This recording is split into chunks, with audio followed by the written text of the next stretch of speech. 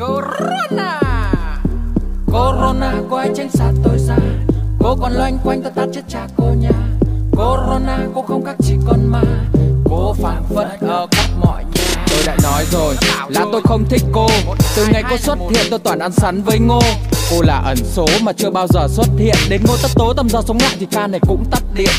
Tôi không biết là cô đẹp đến cỡ nào Nhưng hễ nhắc đến tên cô là cả thế giới phải thét gào. Cô lượn lờ thì không khác gì hồn ma Hay ai có sức hút cô lại chui vào phổi người ta. À ừ Cô là người nổi tiếng Tên cô được sướng lên trên truyền hình cả tiếng. Cô được săn đón và cô được cách ly Ai cũng phát sốt dù cho cô nhỏ tí ti. Chân dài, người ta cặp với đại gia Nhưng riêng với cô chẳng ca nào cô tha.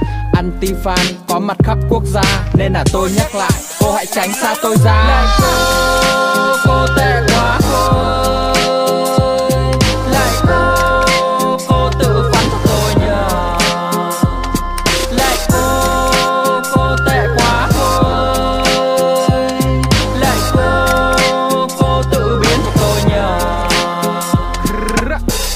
là người Ý và bố cô là người Trung Sinh ra tại Vũ Hán, tên Việt gọi là Gia đình nổi tiếng có con em là sát Nó tung hoành tứ phương với cái lở toàn cát. Xuất hiện ở đâu là ở đó có người Từ cơ cho đến danh hài là không ai dám đứng cười. Nếu anh nào muốn hay ho chắc chắn phải cặp với cô Còn lỡ biến thành ra trò chắc bạn đã tới số.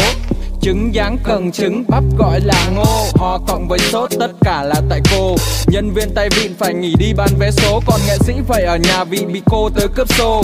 Dân chúng khắp nơi phải đều xô đi tích mì Mới chặt chân. Có một tí mà đã chẳng còn một thứ gì.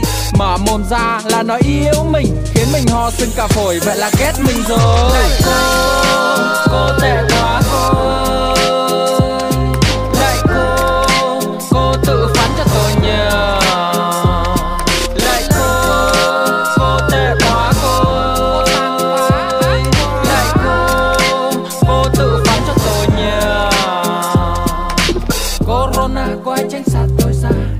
còn loanh quanh tôi tát chết cha cô nhà Corona cô không khác chỉ con ma.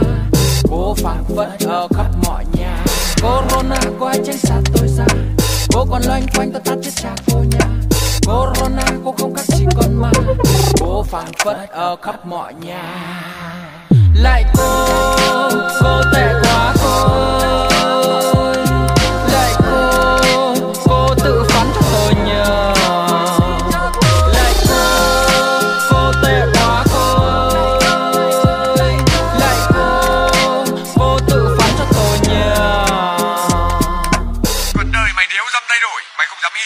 sau này tương lai con Mấy là gia đình nhà mình tốt lên ấy.